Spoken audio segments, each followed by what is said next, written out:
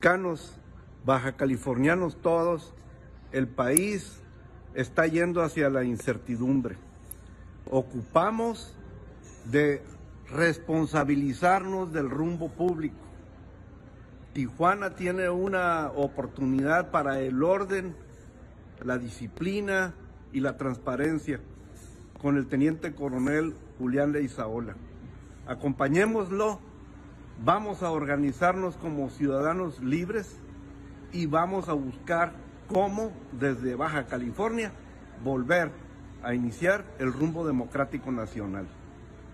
Les habla Ernesto Rufo.